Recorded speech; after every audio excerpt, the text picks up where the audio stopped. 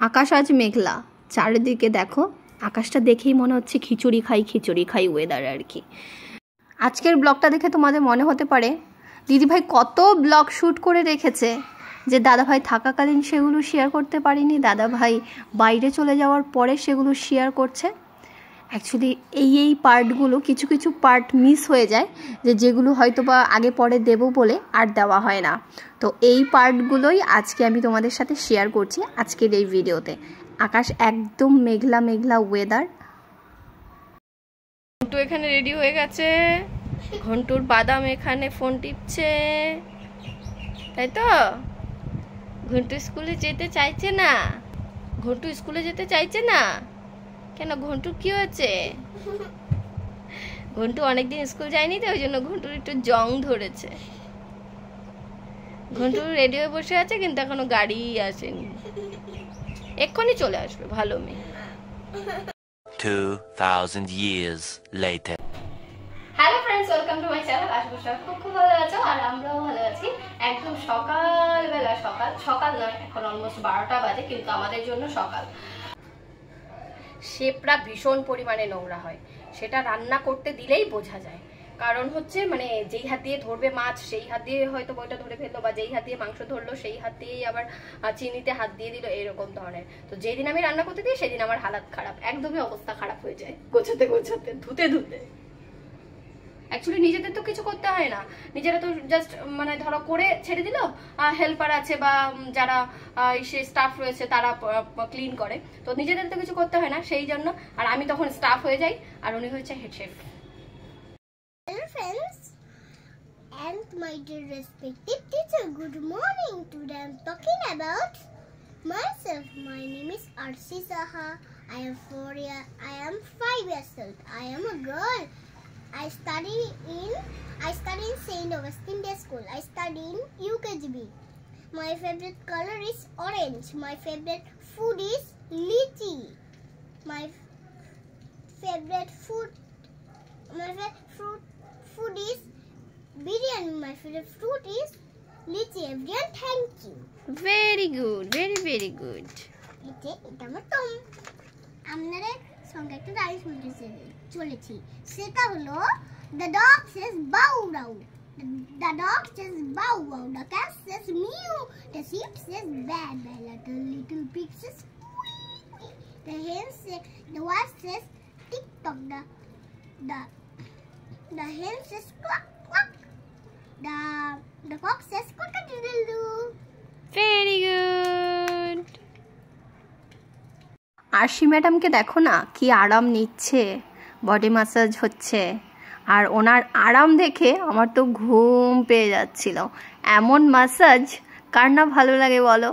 Actually আমি যখন massage নিচ্ছিলাম, তখন আশি আমাকে বলছিল, মাম্মা তুমি যখন নিচ্ছ, তোমার কি হয়েছে?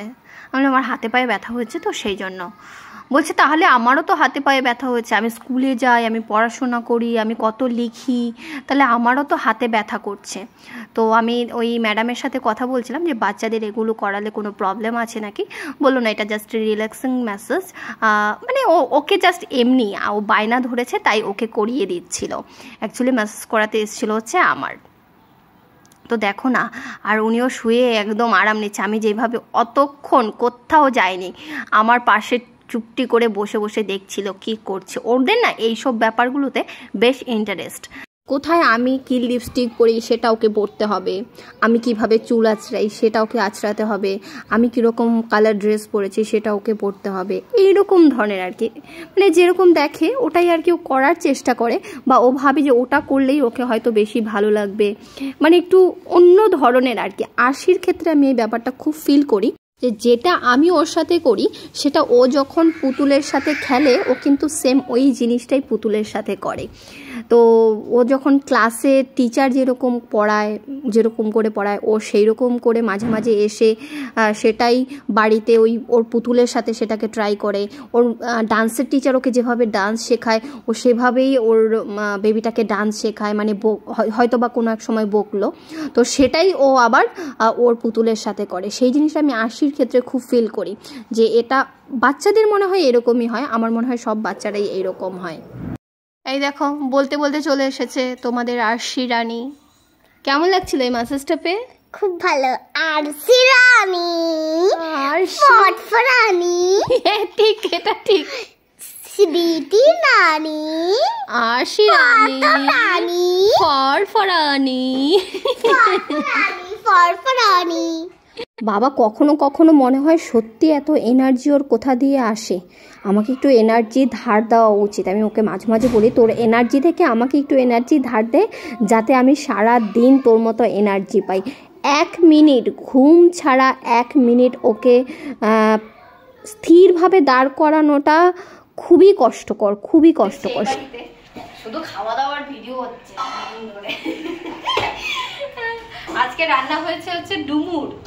সেই ডুমুর কেমন খেতে? আমি একবার খেয়ে ফেলেছিলাম হ্যাঁ? মামুনি আজকে ডুমুর রান্না করেছে। কেমন হয়েছে? আশি আশির জন্যই অ্যাকচুয়ালি ডুমুর। আশি বইয়ে পড়েছে ফিক। এবার ফিক পড়ে সেই আরও এক দেড় বছর ধরে শুধু ডুমুর খাব ডুমুর খাব। একবার তো চাকদা গিয়ে ডুমুর আনা হলো যজ্ঞ ডুমুর। তারপরে ওটা আর খাওয়া হয়নি ওটা পুরোটাই ধরে ফেলে দেওয়া হয়েছে। তারপরে দশ টাকা প্যাকেট নিয়েছিল ওটাও এটাও দশ টাকা প্যাকেট নিয়েছে। এটা নিয়ে এসছো চাকলার থেকে বলো? হ্যাঁ এটা নিয়ে এসছে হচ্ছে চাকলা থেকে। লোকনাথ বাবার মন্দির থেকে। লোকনাথ বাবার মন্দির ওখানে অনেকগুলো ছিল না? এটাই তো অ্যাকচুয়ালি ডুমুর না? হ্যাঁ এটা ডুমুর ওটা জগ ডুমুর। হুম একদম। আমিও ফার্স্ট টাইম ডুমুর খাচ্ছি আমিও আমি খুব সুন্দর হয়েছে দারুণ দারুণ। পাশ। ডুমুর দশে দশ হ্যাঁ ফ্যান চালাও। দারুণ হয়েছে, দারুণ। বিকেলে কাজবাজ সেরে গিয়েছিলাম হচ্ছে একজোড়া শাখা দেখতে।